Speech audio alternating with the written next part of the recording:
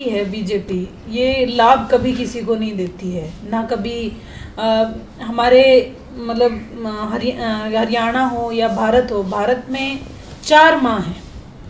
एक माँ धरती एक माँ देश एक माँ पैदा करने वाली और एक गौ माता। चार माँ हैं चारों माँओं को ना ये धरती हमारी ख़त्म करने को आ चुके हैं कुछ बिजनेसमैनों को फ़ायदा पहुँचाने के लिए हमारी धरती तक छीनने लगे हुए हैं। उसके बाद अगर गौ माता की बात करें, गौ माता के नाम पे हज़ारों हज़ारों करोड़ रुपए के घोटाले हो रहे हैं। लेकिन आज भी वही गौ माता डेढ़ सौ डेढ़ सौ किलो प्लास्टिक खा के उस, उनके पेट में से निकाला जाता है और वो बाद में बच भी नहीं पाती, वो मर जाती है। क्योंकि उनको खाने चारा खाने की आदत बंद हो जाती है।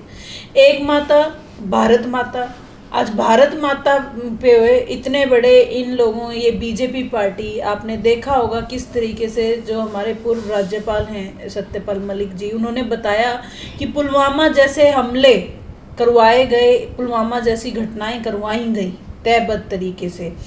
अब बची जन्नी। जन्नी भी हम उन्नीस सौ चौहत्तर से वेट कर रहे हैं, आरक्षण में आने का। एक और जुमला दे दिया बीजेपी ने। बोला, क्या करेंगे? नई संसद में जाना था तो कुछ और नहीं तो एक काम करो, एक शोशा छोड़ दो, एक जुमला छोड़ दो, महिला आरक्षण बिल का। अगर इतना ही आरक्षण देना था, आप नौ साल हो गए आपको सत्ता में, नौ, क्या भी साढ़े नौ साल हो गए आपको पीएम बने हुए। आज तक महिला की याद नहीं आई? आज तक आपको जननी की याद नहीं आई? आपने एक जुमला छोड़ना था कि हम ये करेंगे? कब करोगे? दो आप चौबीस में हमें आरक्षण दो आप हमें ओबीसी को, आरक्षण महिलाओं को ऐड करो उसमें। कब प्रसिमन होगा, कब सीटें बढ़ेंगी, कब हमें आरक्षण मिलेगा? वो बोला ना नोमण तेल होगा, ना राधा नाचेगी। आँगन टेढ़ा का टेढ़ा। तो हम तो इंतज़ार में हैं उन्नीस सौ चौहत्तर से, और पता नहीं और कितना इंतज़ार हमें करना पड़ेगा, क्योंकि कब जातिगत गणना होगी, कब जाके महिलाओं को आरक्षण मिलेगा, मालूम नहीं। ये वो पार्टी है जिसने कहा था, बेटी बचाओ, बेटी पढ़ाओ। और ये बात भी हरियाणा के पानीपत में कही गई थी।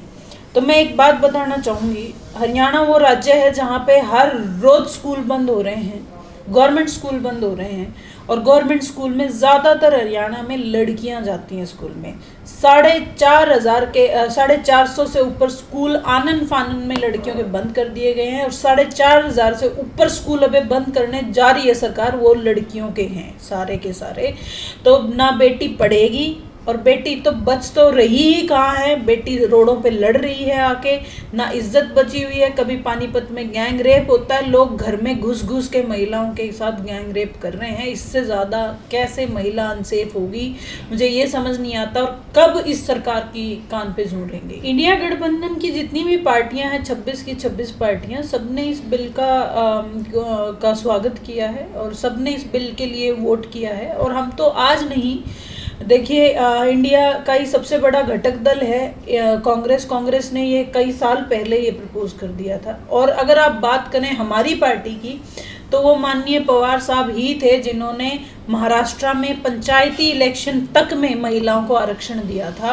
तो वो माननीय पवार साहब हैं। और अगर आप बात करें माननीय पवार साहब का महिलाओं के लिए तो वो माननीय पवार साहब थे जब वो डिफेंस मिनिस्टर थे तो महिलाओं को डिफेंस में कोटा तक उन्होंने दिया था। तो उनकी सोच को तो सलाम है, जितना महिलाओं के लिए उन्होंने काम किया है, काबिल तारीफ़ है, और मैं चाहती हूँ हर नेता को उनसे सीखना चाहिए। मैं एक ही बात कहना चाहती हूँ, चाहे युवा हो, बुज़ुर्ग हो, चाहे जो भी हो, मेरी मातृशक्ति हो, ये जुमले बाजों की सरकार है, इन जुमलों से बच जाओ। यहाँ पे एक प्रधानमंत्री, देश का प्रधानमंत्री नहीं है, एक पार्टी का प्रधानमंत्री है। आपको तय करना है, आपको देश के लिए प्रधानमंत्री चाहिए या एक पार्टी के लिए प्रधानमंत्री चाहिए। आज सबको सब कुछ समझ में आ रहा है, सबको दिख रहा है क्या झूठ है। युवा परेशान है, महिला परेशान है, स्टूडेंट परेशान है, बुज़ुर्ग परेशान है, मीडियम क्लास परेशान है, सब तो एक दो चार बिजनेसमैन को छोड़ के हर किसी के तो ये पीछे लगे हुए हैं, हर किसी को ख़त्म करने पे तुले हुए हैं। ये एक तानाशाह की तरफ़ जा रहे हैं। एक आदमी है जो अपनी तानाशाही चलाना चाहता है। अब देश को तय करना है कि उन्हें तानाशाही राज्य चाहिए या जैसा हम हैं, एक लोकतंत्र, वही लोकतंत्र